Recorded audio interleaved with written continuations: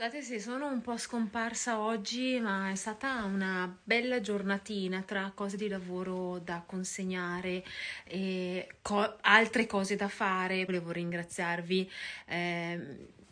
boh, mi ha fatto troppo piacere leggervi, mi ha fatto davvero felice leggere le vostre,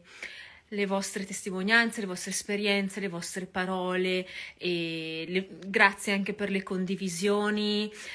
Sapete, non è un argomento così facile da trattare, soprattutto qui su un social.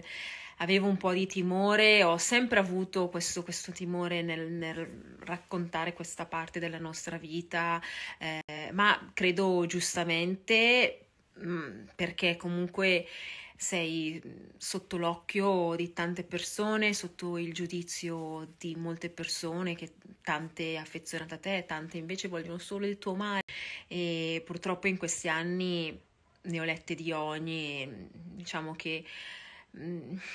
ho letto tanta, scusate, ma tanta merda riguardo e non credo neanche che non avevo fatto niente, non, non, non crede- non credo neanche di meritarmela, ecco, ma tanta cattiveria, tante parole brutte. E quindi quando ti apri così tanto su un social hai sempre paura di quella parte lì,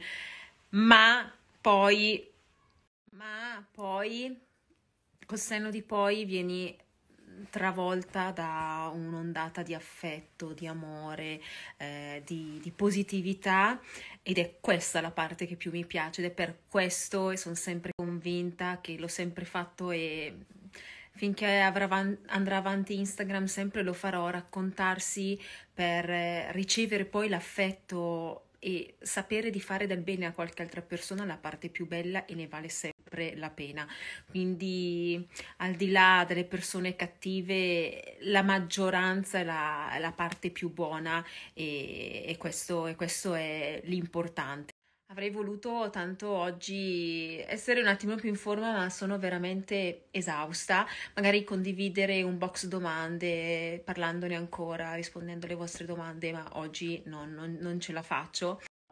Che ricordi e che ridere. Quello è stato un mio vecchio lavoro di quando facevo la modella di qualche anno fa ed era ovviamente quando facevo solo la modella, ehm, tu venivi ingaggiata per fare questo, per posare appunto, per essere il volto di campagna di questi brand e non avevi non avevi, non avevi parola in merito, eh, se non ti piaceva il trucco era quello, se non ti piaceva la luce in cui eh, no, era, era quella, no? E, e quindi ci sono dei lavori che ho fatto in passato che proprio quando poi mi ricapita di rivederli adesso dico, oh mio Dio, e il problema è che quelle foto così girano ancora, ovviamente.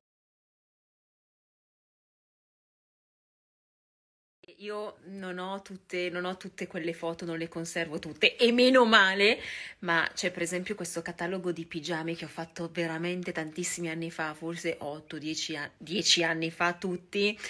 imbarazzante, oppure un catalogo di camici eh, da, da- lavoro, camici, non lo so, da infermieri, così ogni tanto mi dicono, ah Paola, girano ancora sti cataloghi, anche se non dovrebbero girare, ogni tanto mi arrivano i messaggi, ma sei tu questa?